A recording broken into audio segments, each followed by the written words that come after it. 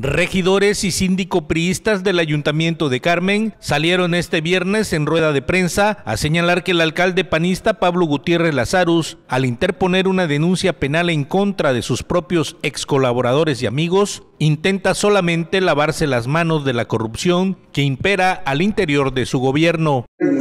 Fallida, dos años de tener malos manejos, malas, malas acciones, malos resultados. Si el presidente municipal quisiera acabar con la corrupción, mandaría convocar el día de mañana a las sesiones ordinarias con las cuentas públicas que hasta el día de hoy no se conocen. Indicó que nadie, ni los carmelitas ni los propios cabildantes panistas, saben el estado que guardan las arcas públicas, opacidad con la que hoy se demuestra, intentan ocultar los malos manejos de recursos públicos y una vez más motiva a pedir cuentas claras a la autoridad en turno. Les vamos a exigir que nos demuestren cómo se están gastando el dinero. El presidente municipal debe tomar la responsabilidad de ser presidente municipal aunque él denuncie, aunque él diga que exfuncionarios, eh, ex servidores públicos, el único responsable en este proceso es el presidente municipal.